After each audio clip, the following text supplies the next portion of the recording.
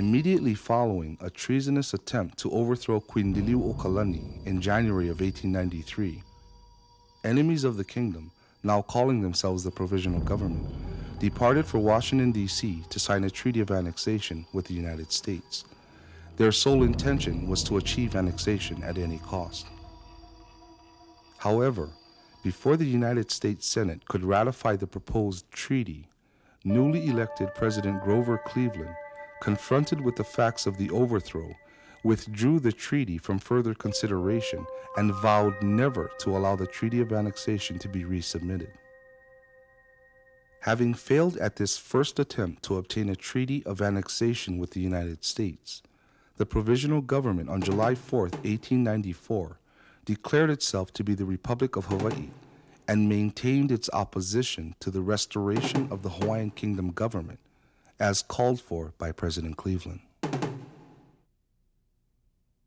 On June 16, 1897, with Grover Cleveland now out of office, a second effort to annex the Hawaiian Islands to the United States was attempted. A treaty was signed in Washington, D.C. between representatives of the self proclaimed Republic of Hawaii and the newly elected President of the United States, William McKinley. The following day in Washington, Her Majesty Queen Liliuokalani submitted a formal letter of protest to President McKinley, asserting that this proposed treaty of annexation violated the existing Treaty of 1850 between the Hawaiian Kingdom and the United States. Because said treaty ignores all professions of perpetual amity and good faith made by the United States in former treaties, it is thereby in violation of international law.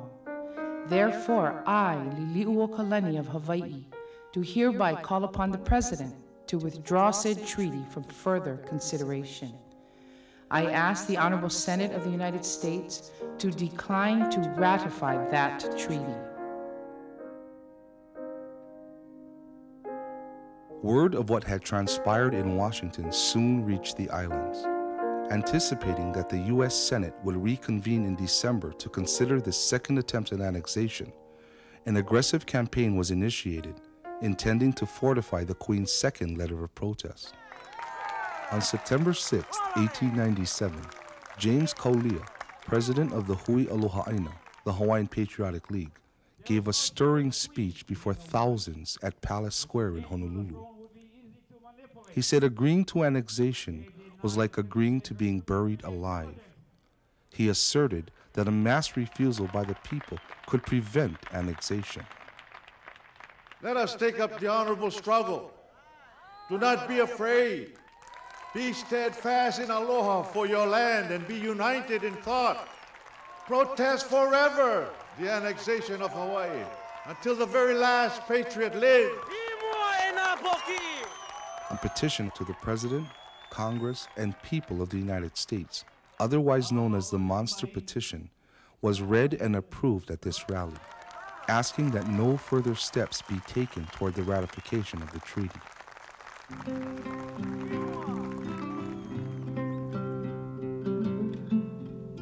The men and women of the Hui Aloha Aina, through the efforts of many loyal and dedicated Hawaiian subjects, launched a full scale petition drive that lasted approximately two months.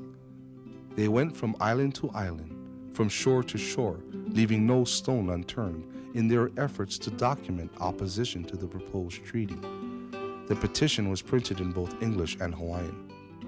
We, the undersigned, native Hawaiian subjects and residents who are members of the Hawaiian Patriotic League of the Hawaiian Islands, and other citizens who are in sympathy with the League, earnestly protest against the annexation of the Hawaiian Islands to the United States of America in any form or shape.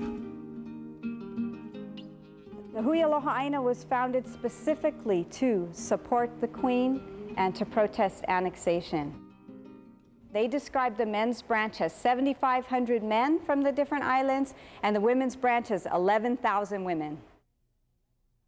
The women did a lot of the work. Mrs. Laura Mahelona went to Kona and Ka'u, and she went in those days, of course, there was no airplane, so there were these um, steamer mail boats, you know, that would go to every village once a week or so and deliver the mail. So her method was she went from North Kona down to Ka'u, stopped in every village along the way, and left the blank petitions with the chapter presidents of the village chapters of the Hui, and told them, gave them the instruction, instructions and said, call a meeting and have all of your people sign this, and I'll come back in a week and I'll pick up the signed petitions all the way North Kona to Ka'u. So the following week, she came back, and at every little village, it wasn't just the chapter president coming out to meet her, but people came out to give her leis and to express their mahalo because she had a, you know, brought to them this instrument by which they could make their will be known. And so the story in the Ke Aloha Aina newspaper is that every time she went you know, I got off the boat and received the petitions. She was covered in lace so that you couldn't even see her dress, and she'd have to go on the boat, take them all off, and then at the next stop, the exact same thing would happen. Um, and she gathered um, 4,216 signatures in Kona and Ka'u. When the members of Hui Kalai Aina and Hui Aloha Aina went out to collect signatures, it wasn't like today where you have to stand around and beg people you know, to sign a petition people were looking for them. They were seeking them out. And everybody, you know, I mean, it was men, women, and children signed these petitions. And I'm just trying to make the point that Hawaiians really didn't have either power or money or government to preserve their nationhood. What they had was their will. Despite the fact that for about a century, Hawaiians had been dying, the population had been plummeting, despite the fact that we had no real power, and, and the United States was a powerful country, Hawaiians acted with remarkable unanimity to preserve their independence, to preserve their lahui. By November of 1897, they had successfully gathered the signatures and support of over 21,000 patriots. In a joint effort, the Hui Kalai Aina also gathered through their petition drive nearly 17,000 signatures. Together, there were over 38,000 signatures, representing 95% of the native Hawaiian population. The estimated population at that time of Kanaka Maoli was 40,000. So virtually every Kanaka Maoli signed.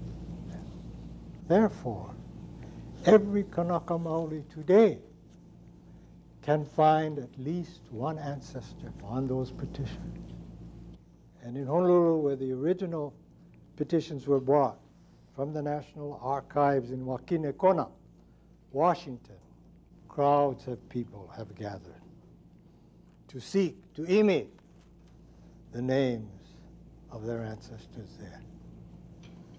And you see them weep and lament discovering these names and all the mana, the special spiritual energy and power in that experience that they feel transmitted to them.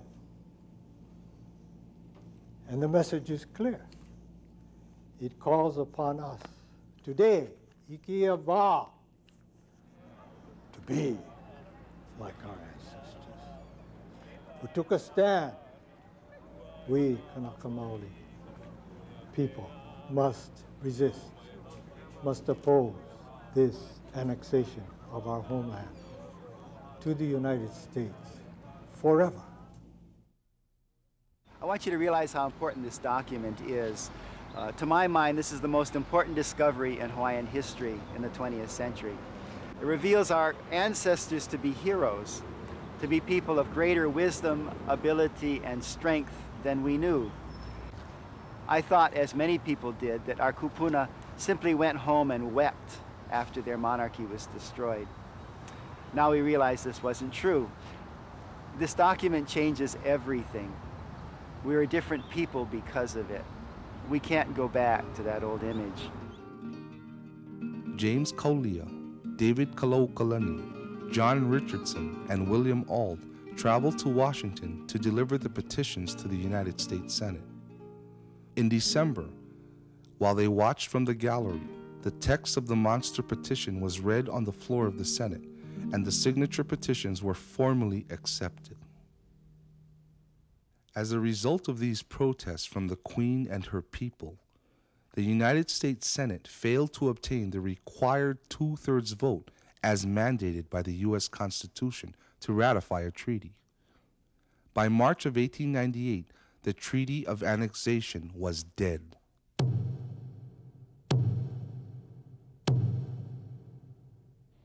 And David um, uh, James Kaulia, and William Auld traveled home victorious. They were victorious. They came home and they told everybody, we did it. All of your hard work, they listened to us. The treaty is dead.